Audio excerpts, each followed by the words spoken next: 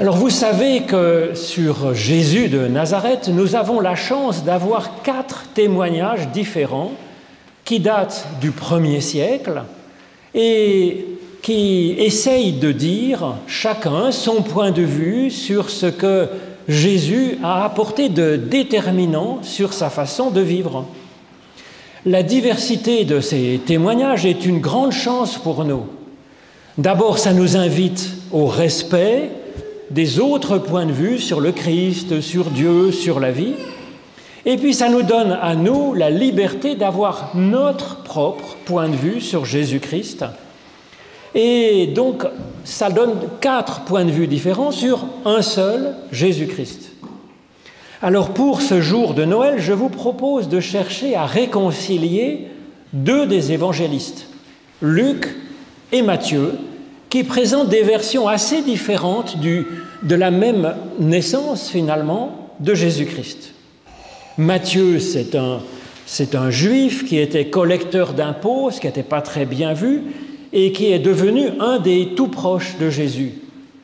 Luc, par contre, c'est un médecin grec qui s'est converti plus tard avec l'apôtre Paul et qui donc annonce l'évangile euh, aux païens avec l'apôtre Paul. Luc et Matthieu sont ainsi d'univers très différents, grecs et juifs, mais qui sont rassemblés par l'unique Jésus-Christ.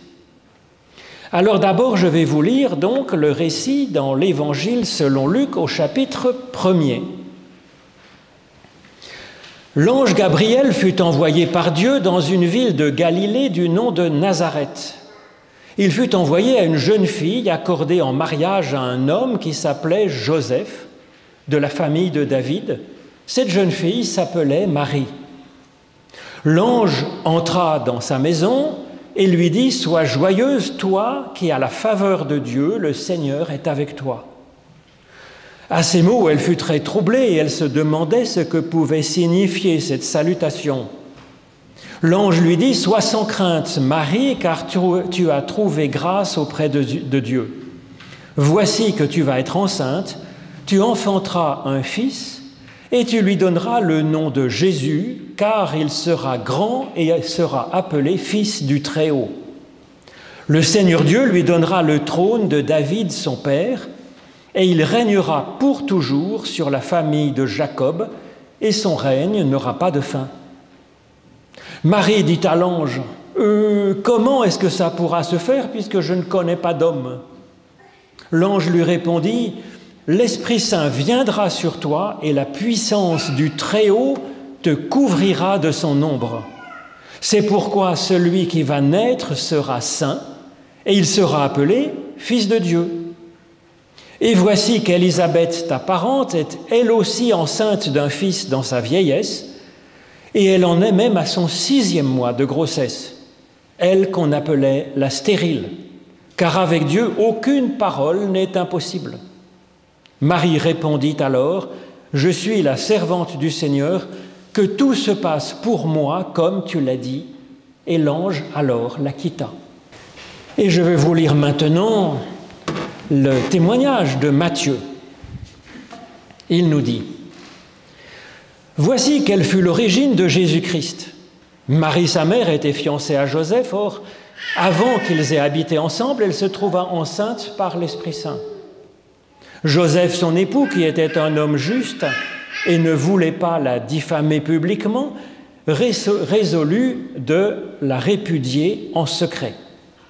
Il avait donc formé ce projet, et voici que l'ange du Seigneur lui apparut en songe et lui dit, Joseph, fils de David, ne crains pas de prendre chez toi Marie, ton épouse.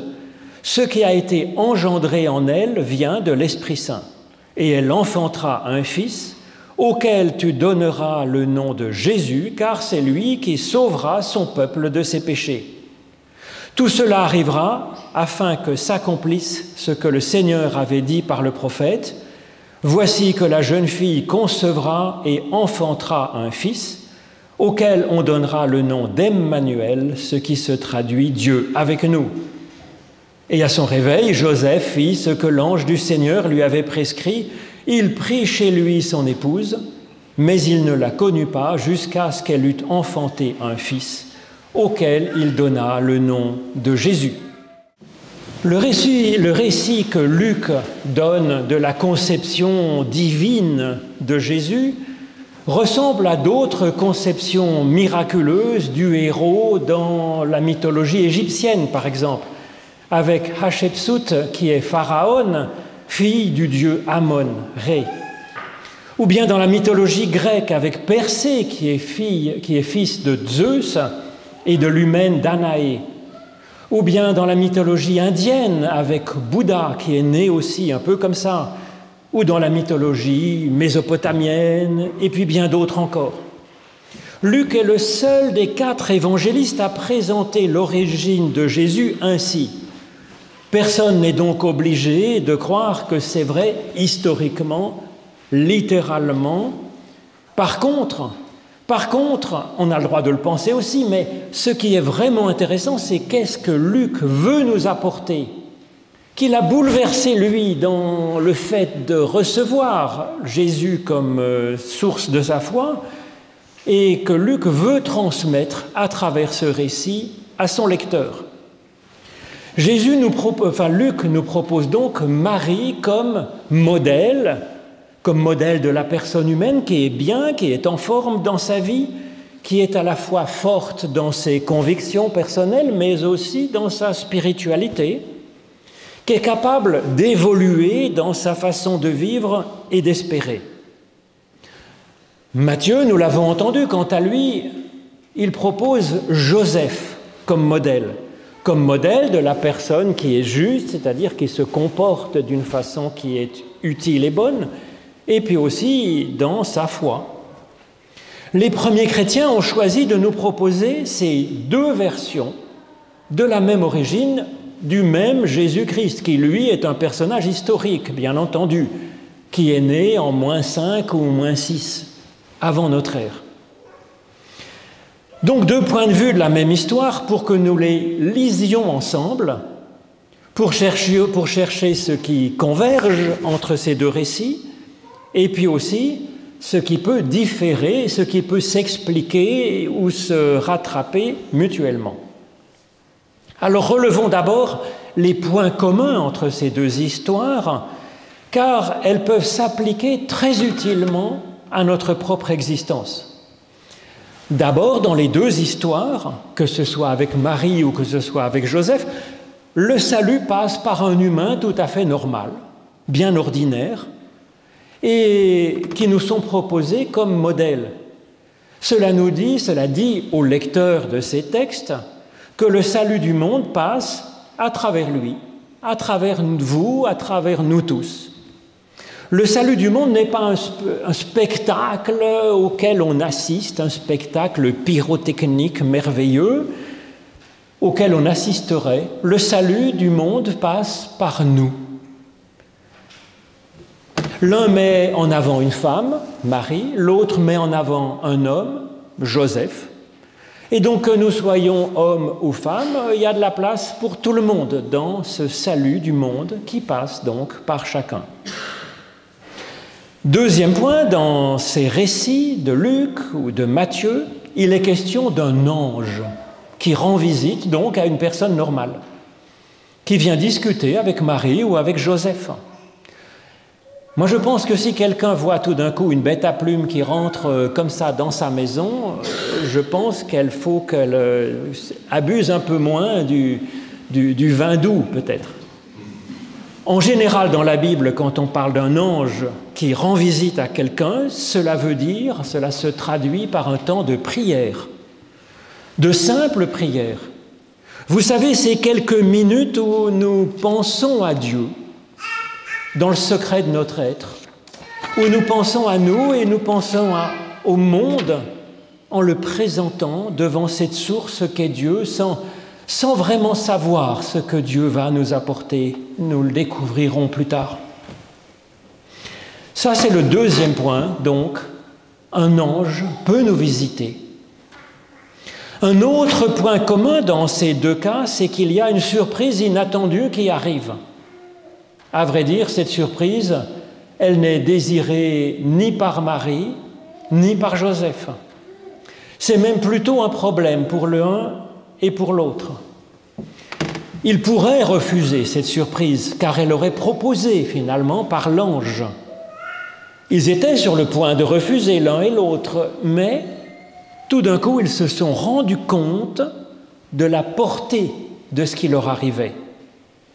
Alors c'est pas facile à Dieu de nous convaincre d'entrer dans son projet. Parce qu'effectivement, tout supplément de création, c'est le propre de Dieu d'apporter du neuf, de l'inattendu, de l'inouï, du jamais vu. Eh bien, ça dérange les choses telles qu'elles ont toujours été. Et puis nous, ça nous déstabilise. Même si c'est pour le meilleur, ça nous dérange, ça nous met mal à l'aise. Mais pourtant, il y a là une vraie bonne nouvelle.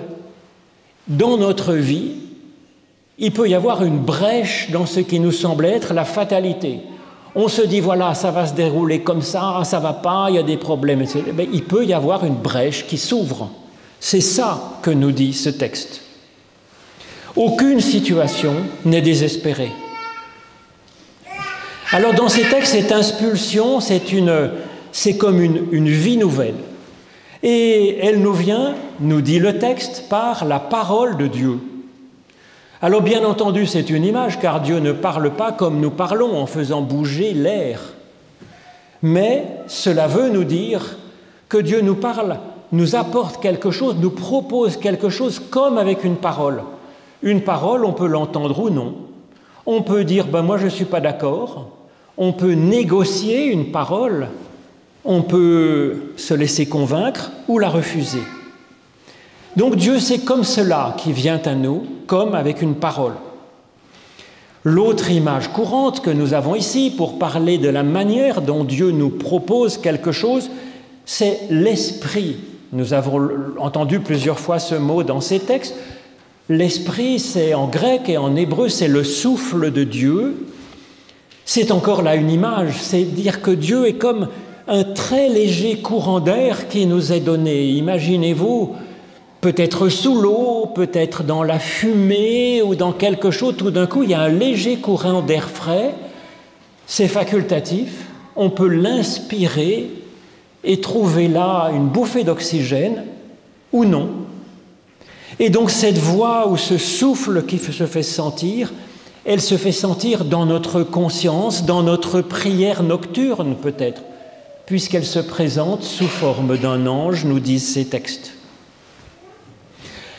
Alors quatrième point commun à Luc et à Matthieu, ça nous dit que cette parole ou cet esprit, enfin ce quelque chose qui vient de Dieu, apporte comme un embryon de vie nouvelle dans notre existence et dans notre monde.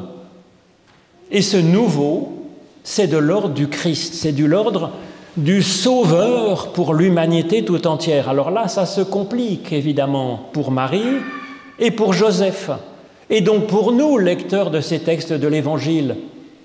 Car ce qui est annoncé est un salut pour le monde entier, et pas seulement un petit mieux-être pour nous, ce qui nous conviendrait tout à fait. Par contre, se sentir investi comme ça, d'être le salut du monde entier, ça nous semble fatigant, invraisemblable, hors de notre portée, et pourtant. Et pourtant, Bien sûr que Dieu nous en rend capables puisqu'il nous en rend dignes et qu'il nous le propose. Simplement, ça sera à découvrir par la suite, à notre mesure, à notre façon. Donc oui, du Christ peut naître dans notre être, dans notre vie. Alors ce Christ, il est à la fois fils de Dieu et fils de l'humain. C'est encore ce que nous disent ces dialogues entre l'ange et Marie ou Joseph. Le Christ ne tombe pas du ciel comme une météorite, pof, dans notre jardin. Le Christ ne naît pas non plus de la seule industrie ou sagesse humaine, comme euh, des grands philosophes. Non, le Christ naît d'une combinaison de quelque chose qui vient de Dieu et puis quelque chose qui vient de nous, qui se combine, qui se combine, on le voit dans ces textes, dans un débat où l'humain discute avec Dieu, essaye de comprendre, et où l'humain a en fait le dernier mot pour dire oui, oui si nous le voulons bien, un oui comme le fait Marie, ou bien, comme le fait Joseph, eh bien, des actes qui répondent au désir, à la prière de Dieu qui lui adressait, que Dieu lui adressait. Alors c'est là que les deux récits diffèrent en réalité. En mettant le projecteur sur Marie, Luc insiste sur la liberté de l'humain.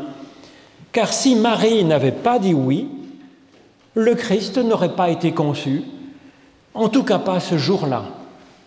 Alors que pour Matthieu, nous voyons dans le début du récit, le récit commence avec un Christ qui est déjà conçu, qui est déjà en route. Et donc euh, Luc insiste sur la liberté de la personne, la liberté de notre personne, et Matthieu, il insiste sur la grâce de Dieu. Voilà. Alors qui a raison, Luc ou Matthieu? La liberté humaine ou la grâce de Dieu qui est puissante pour nous faire vivre et pour sauver le monde? Eh bien, les deux sont à garder, bien sûr, à combiner d'une certaine façon dans notre existence. Il nous faut en même temps découvrir qu'il y a déjà du Christ qui est en gestation dans notre monde, dans notre être, dans la personne qui est à nos côtés. C'est ce que nous faisons avec Joseph. Et puis, avec Luc, nous pouvons découvrir qu'il y a une vie nouvelle, il y a une nouvelle dimension encore supplémentaire que nous pouvons recevoir dans notre existence, que nous ne sommes pas au bout de ce processus de divinisation de notre être, que nous sommes en quelque sorte des pré-hominiens, quelque part entre le singe et l'humain véritable tel que Dieu l'espère et qui se réalise en Jésus-Christ. L'une et l'autre de ces deux propositions sont un vrai travail en fait, demandent un effort, demandent une énergie, une découverte. Et c'est normal parce que tout processus de création demande en réalité un effort. Demander à un peintre qui fait des tableaux, demander à un sculpteur, demander à un musicien, Demander à un auteur de livre qu'est-ce que ça lui coûte comme investissement personnel pour créer une œuvre? Il doit y mettre ses tripes, c'est comme un accouchement. Or, c'est ce que Dieu nous offre en Christ en fait, de créer ensemble, lui et nous, une humanité en pleine forme, une humanité qui, a une dimension supplémentaire ou bien d'adopter et d'élever ce qui existe déjà, de vraies qualités qui existent déjà, mais qu'il faut encore faire sortir, élever, nourrir, protéger, conduire. Ça demande de l'attention quotidienne. Luc valorise la liberté, mais il connaît aussi la grâce de Dieu, bien entendu, car c'est même les premiers mots de l'ange adressés à Marie. Car c'est une grâce de recevoir cette vocation, cette vocation d'aimer un peu en ce monde, comme nous sommes aimés par Dieu. Dieu a besoin de nous pour ça, que nous aimions en ce monde, car ça change le monde d'aimer, d'apporter de la tendresse. Mais ensuite, nul ne pourrait forcer une personne à aimer, pas même Dieu pourrait nous forcer à aimer. Matthieu, lui, il valorise aussi la liberté de Joseph, même si de toute façon Jésus est déjà en route. Seulement, selon Matthieu, la grâce de Dieu est si patiente, si inventive, si forte, que la vie future, de toute façon, est déjà là et elle arrivera à son terme. Alors nous sommes ces deux héros. Luc et Matthieu évoquent leurs qualités et ça nous aide à reconnaître nos propres qualités. Marie a le mérite d'être en prière, je l'ai déjà dit. Ça, c'est pas très compliqué à faire. Et ce face-à-face avec Dieu va susciter, va développer son intelligence, sa personnalité. Elle commence à réfléchir, se poser des questions, discuter. Elle n'est pas juste une carpette qui dit oui, amen devant Dieu. Et ça, c'est bien. Sa prière va développer sa, volonté de comprendre et c'est grâce à ça qu'elle va pouvoir ensuite choisir en toute connaissance de cause d'être au service du Seigneur, à sa façon. Joseph, nous dit Matthieu, a lui aussi une intelligence à l'œuvre et lui aussi a une attention à l'autre parce qu'il n'a pas envie que Marie ait des problèmes. Mais quand il décide, il, fait son projet, il décide en réaction à ce qui lui arrive avec son intelligence, avec son cœur. Sa prière vient en plus, elle vient après son intelligence et sa réflexion. Et sa prière va ouvrir pour lui une perspective supplémentaire. En effet, avant, quand il agissait, c'était en réaction avec les circonstances, ensuite avec la prière, en plus. Il trouve une visée, il trouve du sens à donner à ce qui lui arrive, même si c'était une mauvaise surprise. Et c'est ainsi, main dans la main, qu'il va pouvoir avancer avec Dieu pour le meilleur. Amen.